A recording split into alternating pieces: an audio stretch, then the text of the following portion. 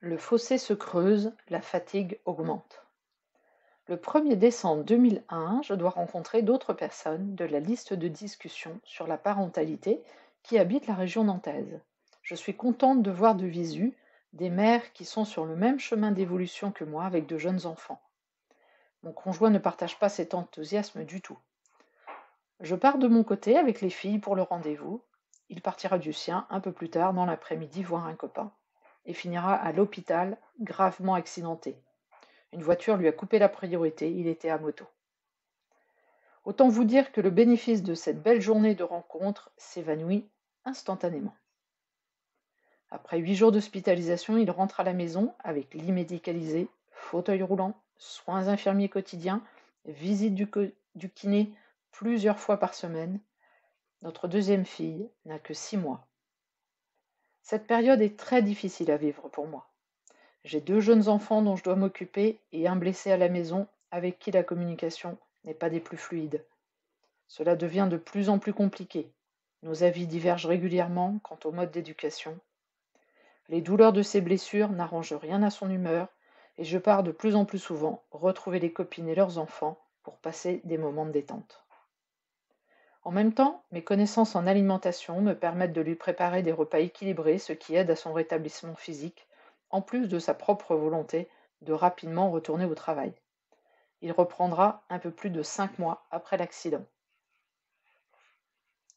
Le temps de l'hospitalisation à domicile aura été pour moi une fatigue physique et psychique importante.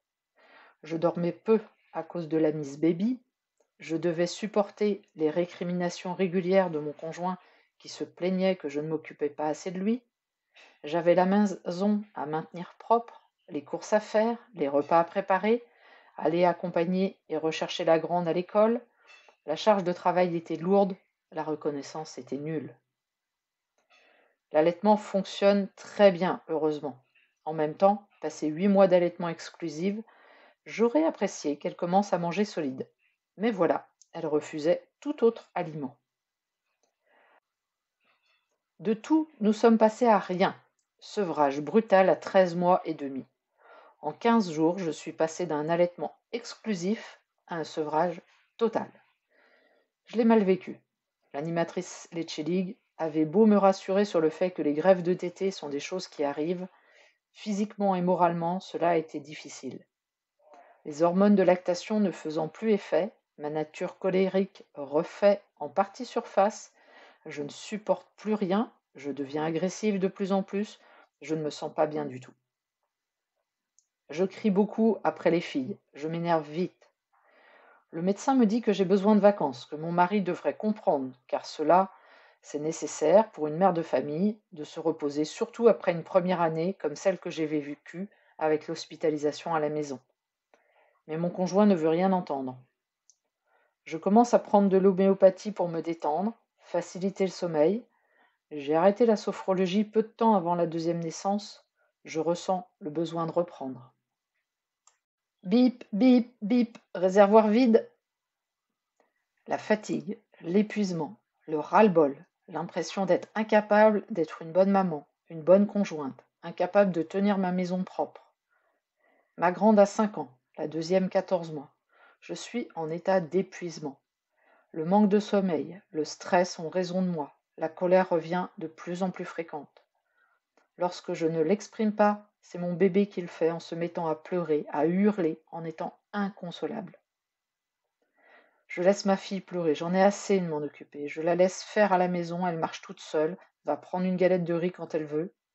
La grande fait sa vie, jouant aussi avec sa petite sœur, mettant les cassettes dans le magnétoscope pour regarder des dessins animés quand elle en a envie. Mon conjoint me dit que je deviens folle, que ça ne va pas du tout. Moi-même, je ne comprends pas ce qui m'arrive. Je passe du temps sur la de discussion essayant de comprendre. D'autres mères vivent la même chose que moi. Donc finalement, c'est comme ça la vie avec les enfants. Il n'y a rien à faire. Je vais voir le médecin, lui expliquer ce qui m'arrive. Il me prescrit des antidépresseurs et des somnifères. Je sors du rendez-vous, dépité, en larmes. Je ne veux pas prendre ce type de médicament. Je trouve que c'est trop dangereux pour moi. Je décide de prendre rendez-vous avec un psychiatre. Si je suis folle, lui saura quoi faire. Après quelques rendez-vous hebdomadaires à expliquer ma situation, je dis au médecin psychiatre que je n'ai pas l'impression d'avancer. Il me dit qu'il ne peut rien pour moi. Il n'y a pas de trace de maladie mentale chez moi, j'ai un raisonnement complètement cohérent, pas de signe de mélancolie, d'humeur suicidaire ou autre attribut propre à un état de dépression. Étant de nature plutôt battante, je continue mes recherches. Lors d'une soirée conférence sur le développement personnel, un intervenant que je connais propose un stage en deux temps sur le thème de l'ouverture du cœur. Je suis tentée, je me dis que ça pourrait être bien de le faire. Le premier temps se fait sur une journée et à la suite, si on le souhaite, un rendez-vous par mois en groupe. Je retrouve lors de ce travail des techniques de relaxation, méditation qui me font beaucoup de bien, un travail de prise de conscience sur notre façon d'être. Je suis contente, j'ai trouvé un outil pour m'aider à retrouver calme et sérénité. Sortir de chez moi, voir des adultes sans enfants une fois par mois, me fait beaucoup de bien. Chacun vient avec un projet, plus ou moins défini, qui sera travaillé durant neuf mois, le temps d'une grossesse. À la maison, la tension monte de plus en plus. Les prises de tête se multiplient. J'en ai marre d'entendre que c'est n'importe quoi ma façon d'éduquer, que c'est pas comme ça qu'il faut faire, que ma maison n'est pas propre et rangée, que je passe trop de temps en réunion avec les copines. J'en ai aussi assez qu'on me part pas en week-end et en vacances, j'ai besoin de changer d'air. Notre deuxième fille grandit, devient de plus en plus difficile. Elle me pousse dans mes limites, m'oblige à revoir sans cesse mes façons de faire. Je sais que l'éducation violente n'est pas la solution. Je sais que la bienveillance, le respect de l'enfant est important pour son développement.